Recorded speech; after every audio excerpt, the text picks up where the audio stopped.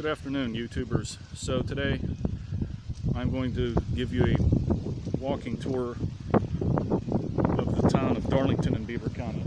I'm going to explain to you the historical significance of this town. We have a little reason. Our first stop is going to be here at the Greersburg Academy. Darlington, Pennsylvania was originally called Greersburg.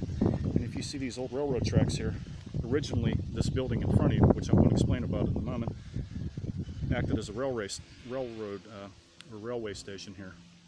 And this is going to come up a little bit later very significantly because it played a crucial role in something that was a major operation here in Beaver County. As you can see, this is a quite peaceful little town, very historic.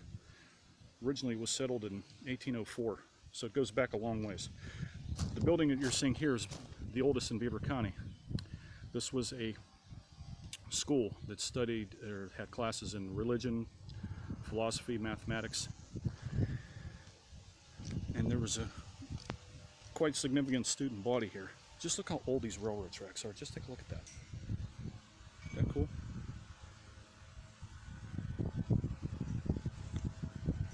So let me get to the front here. There's an historical plaque here that you can see for yourself. You can read it as follows.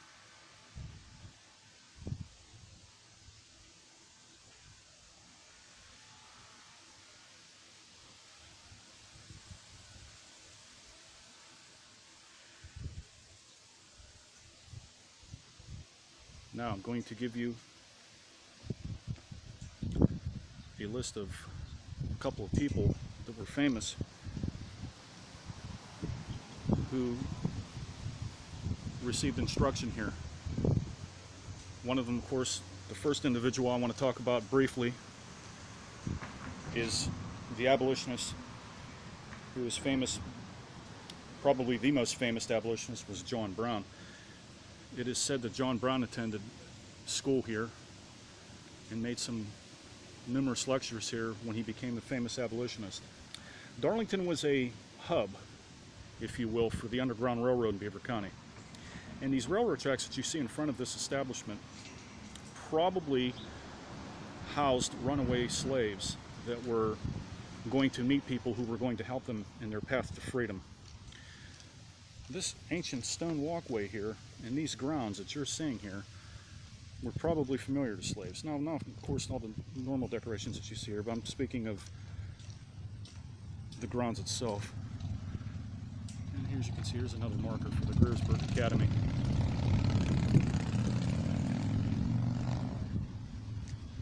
And the first gentleman, too, that I also want to talk about is a man by the name of John Greery. John Greery was wounded 10 times in his military career. He was a famous general in the Civil War, but before that, he was a uh, soldier in the Mexican-American War where he was wounded at the Battle of Chapultepec. I don't know if you folks are familiar with that battle, but it was a famous battle of the Mexican-American War. When he finally got into the Civil War, he created the 147th and 28th Pennsylvania regiments. And as a result of that, he became known for his uh, mighty military campaigns. And that is to say, he had uh, been in the Battle of uh, Gettysburg, the Battle of Chancellorsville, the Battle of the Wilderness Campaign, and I think there was a couple of others that he was actually involved with. And after that, he became the 16th governor of Pennsylvania, running on the Republican ticket. And I'm showing you the whole building here. I'm going to do a 360. You can see that these are the original stones of the building, ladies and gentlemen. Certainly not the windows, but the stones themselves. It's quite old. This building was built, it is purportedly uh, in 1802. By the looks of these old stones, that certainly seems to be the case.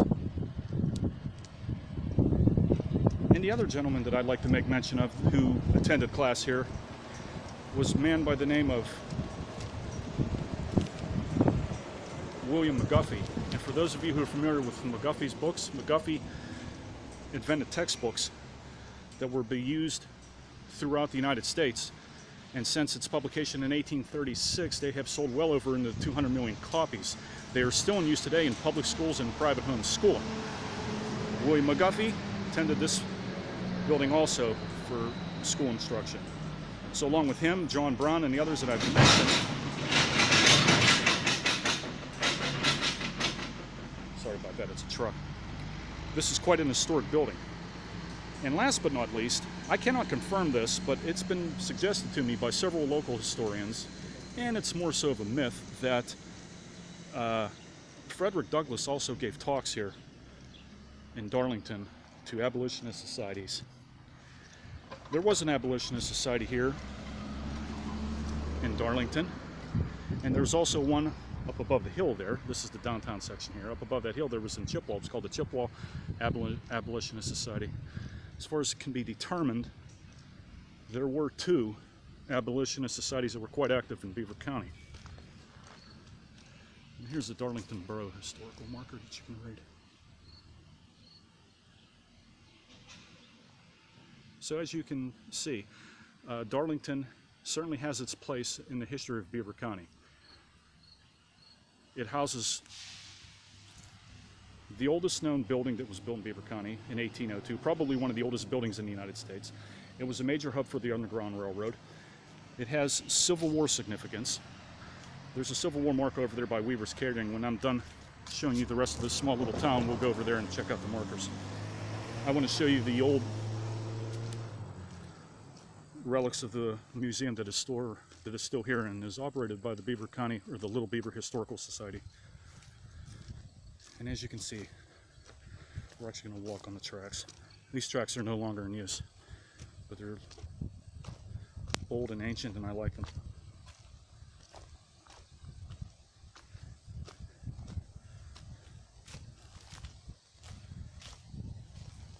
Darlington is home to some of the earliest forms of agriculture in Beaver County. Beaver County started out as a farm region with the towns like Darlington and Enon Valley and Hookstown before it became the mighty glass factory which Henry Fry made famous in Rochester and before of course the infamous steel mills. And here's an old house here, it's kind of creepy. It sits right here in the corner of this quiet little town. It's almost like a Ray Bradbury town. Just look at it. That's where we walk from.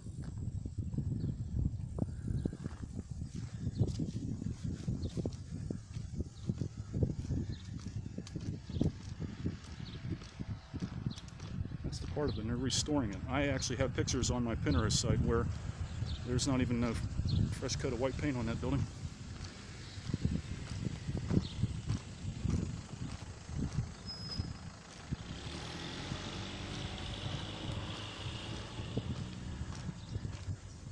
We'll take you up to the intersection here.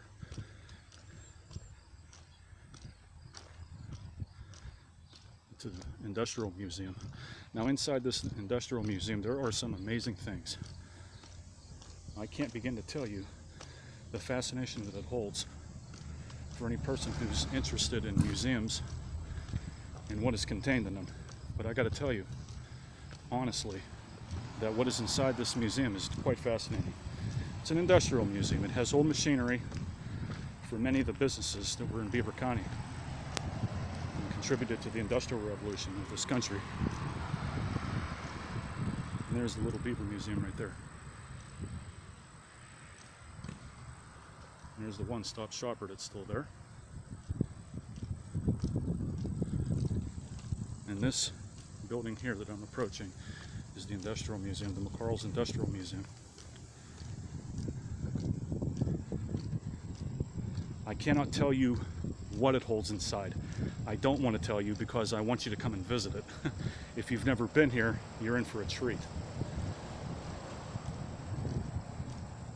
You would not believe what's inside that building. Trust me, it is worth your time and visit.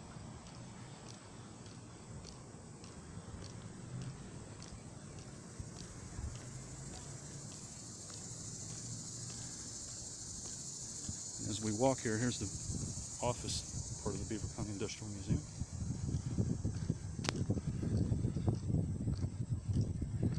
Here's an old church here in Darlington. And there's a marker that we're coming up to. I thought I would do more justice by just actually walking around and doing this for you, just to give you the heart of Darlington. I'm not showing you everything in Darlington. I'm just showing you the historical sites of Darlington because I just feel it's important and I feel I could get better shots by just doing it on foot rather than driving. Let's take a look here at the Free Presbyterian Church of Darlington.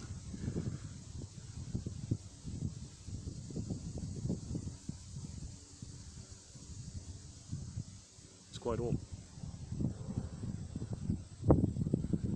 So getting back to the issue of the Underground Railroad, as I said, Darlington was a major headquarter for the Underground Railroad, primarily because of the Protestants that lived in this town in the early days before the Civil War were staunch abolitionists. And as a result of that, they formed societies to have their voice heard. Pennsylvania outlawed slavery, I think, in 1843. So it took a long time for their voice to actually get underway.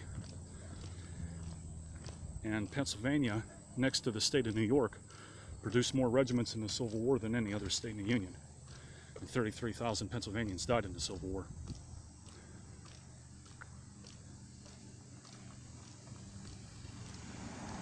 So now we'll come up onto the intersection here. Again, this is the historic part of Darlington, PA.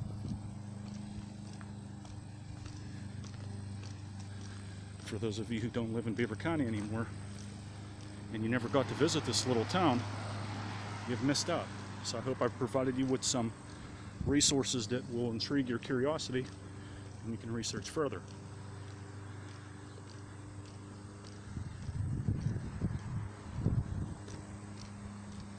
I've always admired this nice little house right here.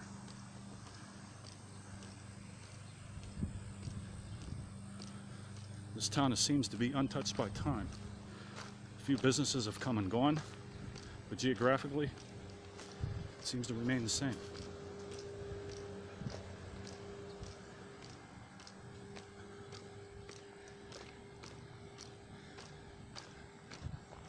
We'll go up to that Civil War monument. And I'd like to show you that and the writing that's on that and the history that it contains.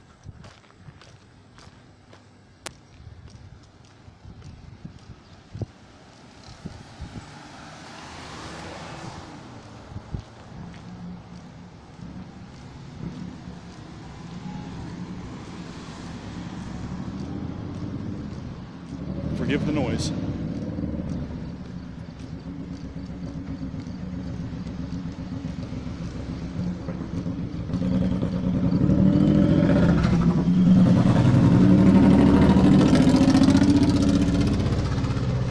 Certainly a beautiful day to be on a motorcycle. Kind of noisy though.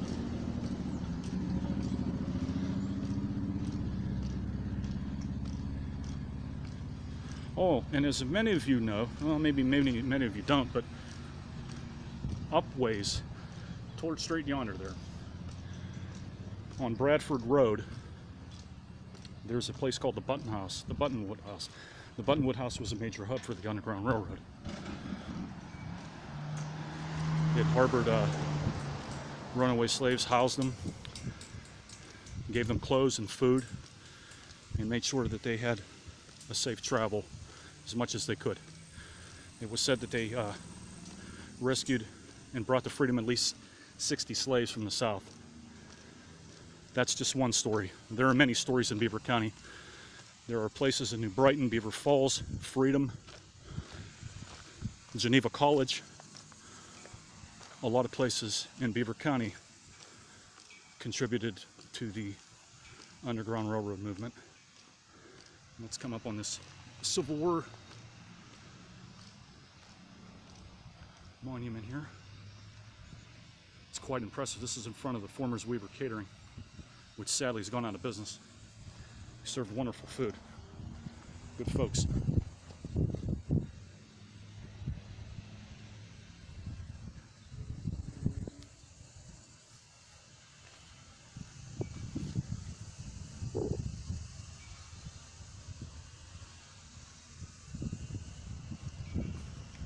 have it. As I said earlier, Beaver County, specifically Darlington today, was home to many Civil War veterans. Major developments that led up to the Civil War took place here. The Underground Railroad, of course, being one of the probably the most important that took place in Darlington by the early settlers of Beaver County, whose names and contributions are little unknown. So I hope you have enjoyed this video. Give me a like, give me a subscribe. Let me know what you think in the comments below. Check out my Pinterest page, my Facebook page, my Twitter page. I have many uh, wonderful photos of old Beaver County and modern Beaver County. So that will conclude our video. Have a great and safe weekend.